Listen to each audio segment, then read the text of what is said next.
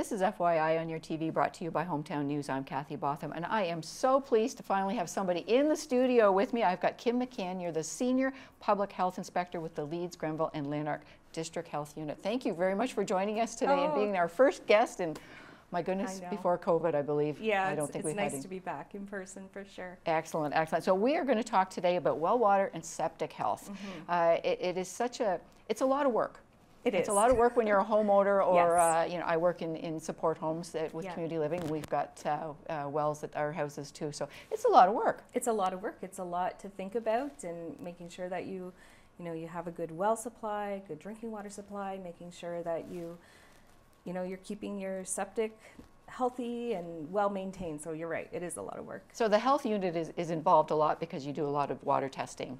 We do. So, and we actually provide a free service to um, people uh, who own wells. Um, they can come to our health unit and pick up a health unit, a, pick up a water bottle. They can take a water sample and they can submit it to the public health lab um, for well water testing, and it's a free service. So, so we really encourage everyone to, to sample their well on a regular basis. Okay, okay. Now, why is spring a good time to check your well water? Well, as you know, we have had a load of rain just even in the last couple of weeks and ever since the snow started to melt. So that's a lot of surface water infiltrating the ground. And when that happens and when things become, when the ground becomes oversaturated, it may not necessarily filter out like it would during normal, normal times. So there is an opportunity that uh, that surface water, the rainwater, could be contaminating our wells. So our wells. So we want to make sure that we do test right now to make sure that our wells are staying stable and free of bacteria. Now, there's a lot of chemistry and, and uh, physics going on under the ground yeah, for that's sure. right. Yeah, that's right. Yeah, so you know, kind of going back to our grade nine or grade ten um, science class, you know, as the as the water is fil filtering down through the soil, it removes bacteria naturally. But if their grounds become saturated, then that doesn't necessarily happen the way it should. Right, right, right. Now, now so what are some of the common household products that people should avoid disposing into their septic yeah, systems? Yeah, so we want to make sure that we're treating our septic systems well. Um, so you want to avoid putting chemicals down. So, you know, sometimes people may change their oils or use paint thinners or mm. use paint. Avoid putting that down into the well uh, or sorry, down into your septic system because it could actually clog up your septic system. Also, things like baby wipes or wads of paper towel or um, sanitary products, all of those things can clog up up a septic system as well, clog up your pipes and could cause your um, septic to backflow into your house, which is very messy and not pleasant to clean up, as you know. Absolutely. I mean, sometimes you need a plumber to help you get that out, but if it gets out to your septic system, it's well, a whole different problem. Well, that's it, right? And it can cause big clogs in the septic tank and cause the septic tank to malfunction. So, and you know, even simple things like coffee grounds or eggshells, um, even those finer particles, you want to avoid putting those down also because they can actually get out into the bed and clog up the, the aeration that's happening in the bed and cause the septic system to fail. And one of the biggest things when living in the country is you want to make sure that you're not putting too much water down into your septic system all at one time because you don't want to oversaturate that, uh, that bed, which also could cause it to fail. So if you have leaking plumbing, get it fixed right away, especially a running toilet. Oftentimes that, that will happen and we're not even, you know, we don't even realize that it's happening until hours later. Um, or leaking faucets, you want to get those you know, fixed up right away. Um, even things like doing your laundry. If you're out in the country and on a septic system, you don't want to hold your laundry for one day. You want to spread it out over the week just to minimize putting too much water down into the septic all at one time. Okay, okay. Now, when you, you, you mentioned the coffee grounds and, and eggshells, I'm assuming people don't flush those down their toilet. Is that like a garbage disposal, yeah, or well, are people doing that down the sink, down the kitchen oh, sink? You know, if yeah. you know you're cleaning out your your coffee um, uh, what do you call those things that you might put your percol you know the oh, the, the, the, basket yes. for your mm-hmm. coffee percolator. Um, oftentimes, if you're rinsing them out, you want to make sure that you dump the majority of it into the garbage first. And once again, it's like the toilet too. It may clog up and you may need a plumber, but if it gets out there, Yeah, that's it's a right. whole different issue. Oh my goodness, yeah, okay. So what other things can affect the health of your sewage system? So things like driving motorized vehicles over over your tile bed. Um, we've even heard stories where you know large trucks or even just pickup trucks have run over somebody's septic bed and broken through.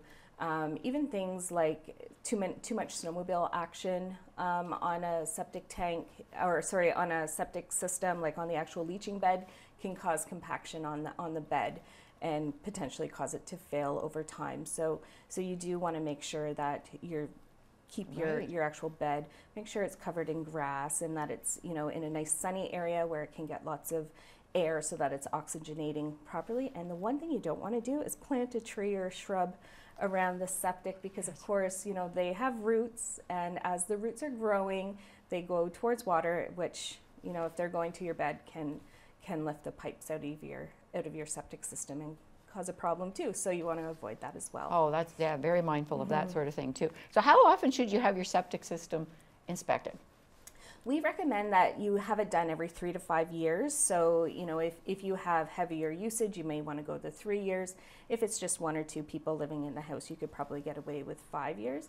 But it is important to remember that those septic tanks do contain hazardous gases. So it's, it's best to have a professional company mm. come in. They can take a look at it, make sure the baffles are still in good shape. They can pump it out for you and help keep your system working properly. So when somebody comes to pump the system, they're also inspecting it as well? or- Yeah, that's yeah. that's exactly right. Yep. Oh, excellent, excellent. Oh, there's so much things to learn when you, you know, you, you, you just, you decide to live out in the country. Yeah, And, yeah, and do that sort of stuff. Now, water samples, how often should you be doing water samples and Well, taking them to the health unit? We would recommend at least three times a year. Three times a year. Um, the spring is a great time because it's you know typically when we get more rain and more snow melt, so there's a lot of groundwater going into the ground.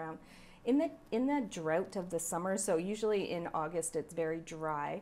Um, that too can cause problems. Um, sometimes when it's very very dry and we're in drought-like conditions, your your well water uh, like we still need the source of water, so the actual groundwater may be lower. So it may be drawing from other aquifers that it doesn't normally um, actually draw from. So there's an opportunity for contamination there. Um, and then again in the fall, just to make sure things are are working well. So three times a year as a minimum. Again, it's a free service offered through the health unit, so we encourage all well owners to do that. If for some reason we were to get a really significant rain, fall, or uh, uh, maybe a, a big snow melt, like a winter snow melt, something like that, we you know do it do it then as well. So like I said, it's a free service. You can do it as Right. often as you'd like. And it's for your safety, Exactly. absolutely. So you, you get an adverse effect, uh, a, a, a test back? What, Yep. what would happen? So if you did get an adverse water back or you know counts of bacteria in your water, give us a call at the health unit and we'll walk you through correcting the process.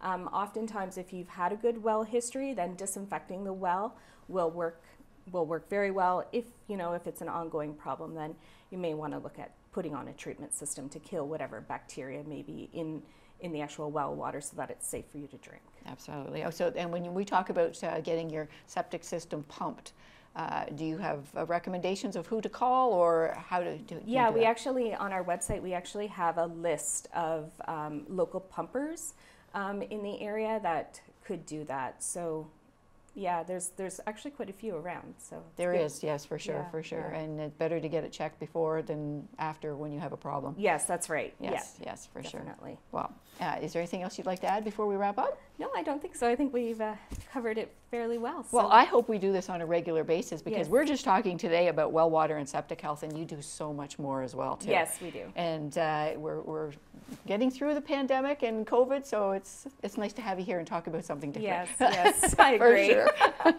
so Kim McCann, thank you very much for joining us, Senior Public Health Inspector with the Leeds, Grenville, and Lanark District Health Unit. Thanks for joining us. Thank you. Take care.